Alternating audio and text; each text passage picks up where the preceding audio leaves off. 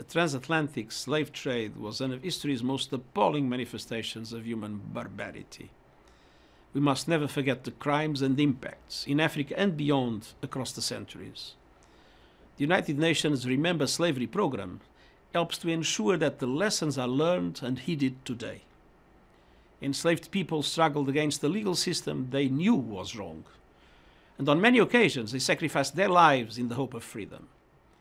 We need to tell the stories of those who stood up against their oppressors and recognized their righteous resistance. On this International Day of Remembrance, we pay homage to the millions of African men, women, and children who were denied their humanity and forced to endure such abominable cruelty.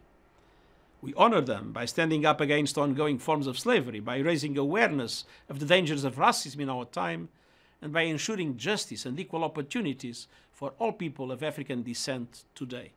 Thank you.